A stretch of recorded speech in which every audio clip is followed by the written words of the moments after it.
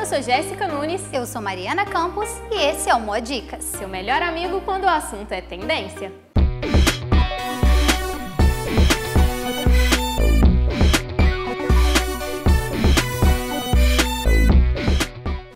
Eu posso ter celulite ou não ser toda bronzeada. Tenho problemas nessa área ou naquela, mas aceitar isso é o que me dá poder. Quem disse isso foi a poderosa Kim Kardashian. E a top Gisele Bündchen concordou dizendo que as nossas imperfeições são o que nos fazem únicas e bonitas. E foi por isso que o Modicas veio até uma agência de modelo conhecer tudo sobre esse universo.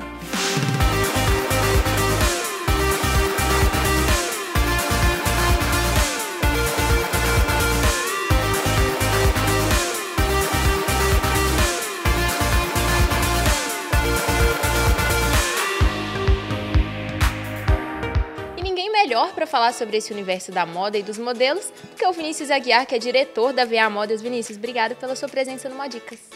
Prazer. Prazer é nosso. Queria começar te perguntando, todo mundo acha que o universo da moda é muito glamuroso, é muita fama, é só isso ou tem muito mais que a gente não sabe? Com certeza tem muito mais. Elegância, tem um charme, né? Mas infelizmente não é para qualquer um, né? Além de nascer para aquilo, você tem que se cuidar. Né? Exige muita dedicação, não é só aquele estrelismo, porque não tem como é, você brilhar sem você saber como ter uma postura. Né? Além da ética, respeito, os princípios e valores. Vinícius, o que te levou a trabalhar com essa, com essa agência, com modelos? A própria fotografia. Eu iniciei como fotógrafo né, na carreira, comecei com fotografia de retrato, né? Depois tive meu estúdio fotográfico e depois disso eu trabalhei com noivas. E depois desse noivas eu comecei a ver que a revista que eu trabalhava é, contratava muito modelo. Falei, gente, olha que legal, eu comecei a me interessar. Qual que é a maior dificuldade de, de gerenciar uma agência de modelo? A dificuldade que eu vejo é a dedicação, né? Porque tem gente que acha que assim é só chegar e nossa, tem uma varinha de condão, né? Lá no final da passarela que quando eu passar, o moço vai bater e eu vou brilhantar, né? e não é bem assim. Muita gente chega é, na agência e fala: Nossa, mas pena que eu não posso ser modelo. Por quê? Já imagina aquele estereótipo magérrima, né, altíssima. E não é bem assim. O fotográfico ele tem um pouco mais de traços, um pouco mais de atitude que o manequim, a maioria das vezes, não tem. Né? Claro, quando tem os dois, completa muito. Né? Mas o modelo manequim ele tem um lado mais exótico. E o comercial ele tem mais aquela carisma, aquela coisa mais angelical. E quando você fala cliente, é a agência ter um contrato com alguma loja, alguma marca?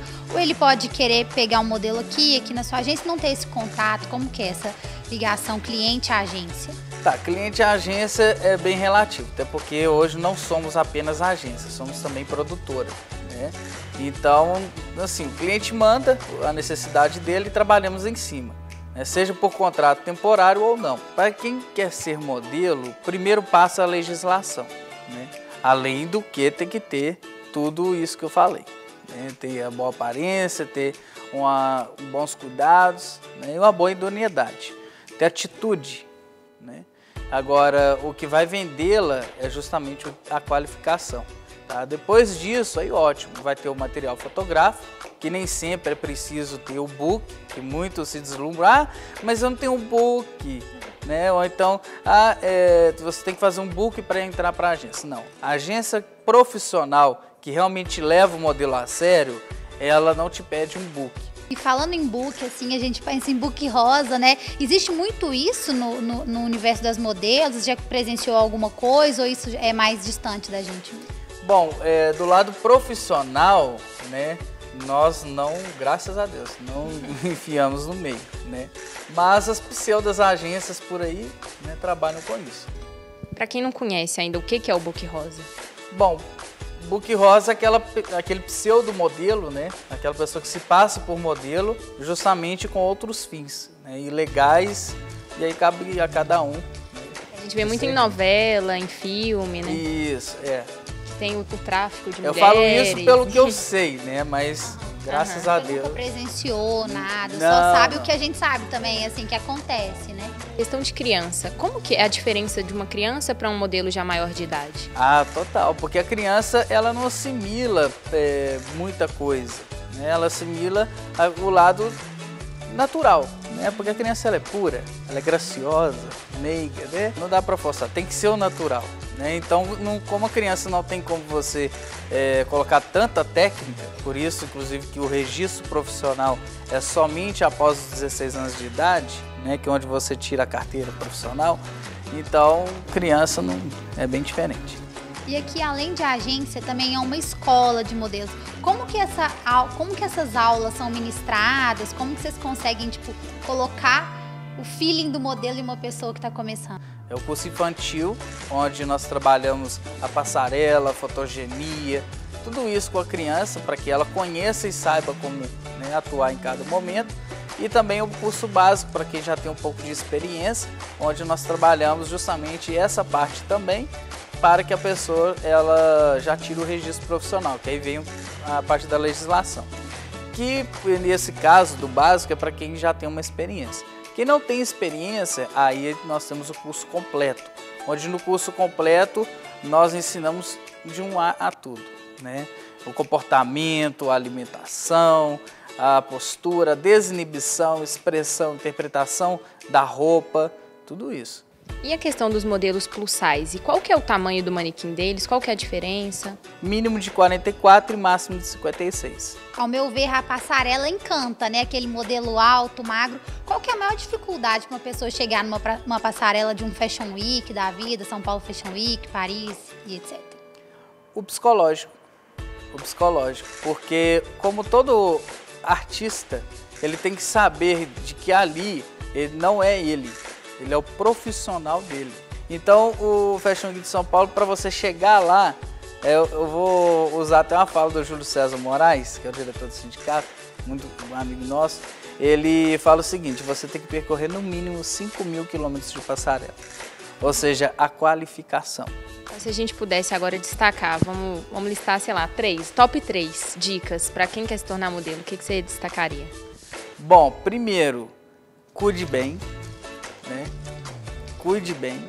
É, da estética, do segundo passo, tenha sempre foco, saiba aquilo que você queira. Terceiro, não cometa a loucura de desvincular da, da sua vida, da sua profissão para poder focar na carreira de modelo. Porque como qualquer carreira, o princípio é a sabedoria. Então primeiro procure saber, qualificar para depois atuar.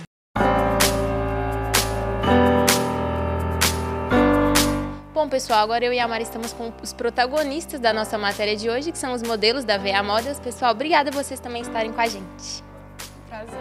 Queria pedir para vocês falarem o nome de vocês, se apresentarem e contar um pouquinho de como que foi o começo da carreira de cada um. Meu nome é Bárbara, tenho 19 anos e eu comecei a carreira por uma curiosidade porque eu faço curso de design de moda. E como eu já tô, tô na área, eu queria conhecer o, o outro lado, backstage, das- do lado dos modelos e tudo mais. Aí eu me interessei e procurei entrar em uma agência. Meu nome é Thalita, tenho 24 anos, sou formada em biomedicina, atualmente moro na capital, Belo Horizonte.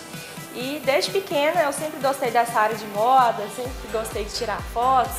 Pegava o sapato da minha mãe, salto, maquiagem da minha mãe, da minha avó, minha irmã mais velha. Então, assim, eu sempre fui maravilhada por essa área. Meu nome é Breno, tenho 25 anos. Minha profissão principal é, é o vôlei, né? Que é a minha pilar, assim, de tudo. E eu tava de férias aqui, eu jogo, eu tava jogando atualmente em São Paulo, eu tava de férias aqui em Contagem, que é onde eu moro. Aí minha mãe veio e falou, por que você não tenta uma coisa nova, assim? Entrei na internet, conversei com o Vinícius, que é o diretor aqui e tal. Comecei a fazer, comecei a gostar, entendeu? Um universo totalmente diferente do, do meu principal, assim. Meu nome é Thaisa, tenho 25 anos. Comecei a carreira de modelo nova no interior de Minas Gerais. Mudei para Belo Horizonte, dei prosseguimento à carreira. É, por um tempo eu parei, fui seguir a minha vocação extra, que eu sou formada em administração. E voltei para BH depois de algum tempo e dei prosseguimento à carreira aqui na VA Modas, com o Vinícius. E qual que é o maior desafio da carreira de ser modelo? Olha, eu acho que conciliar tempo, sabe? Que você, como eu faço faculdade, então você tem que ficar conciliando, conciliando o tempo da faculdade para alguns trabalhos que surgem, entendeu? Tem nem todos os trabalhos você pode pegar por causa do que você tem à parte. Psicológico também, que é muita pressão que você tem. Querendo ou não, você lida com o público, né? Então você está vendo que é sempre uma avaliação em cima de você. Entendeu? Então você está sendo uma amostra para o povo te avaliar. E eu queria saber, porque tem modelos de várias espécies, né? Fotográfica, passarela. Qual que vocês mais gostam de fazer e se vocês fazem mais de uma, assim? Olha, eu formei em passarela e, fotográfico, mas eu prefiro, sim, mais passarela, eu acho melhor. Assim.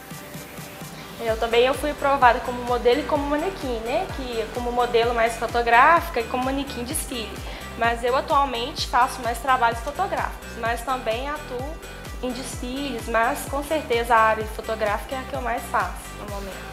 Quem que é a inspiração de vocês, assim, que você olha como modelo e fala, ah, eu queria ser igual. Não ser igual, ser, ser vocês, da maneira de vocês, mas ver aquela pessoa como um ídolo, um...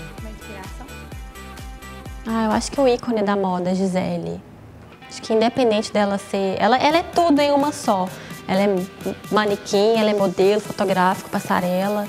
Acho que não só é, o profissional dela, mas o pessoal dela também encanta a gente. O Johnny Keane, assim, eu gosto muito dele, né? da postura dele, assim, eu, eu gosto muito de Giovanni assim, eu gosto muito dele, mas é, a Gisele também, eu acho que por mais que ela seja mulher, assim, a, a pessoa dela me, me chama muita atenção, assim.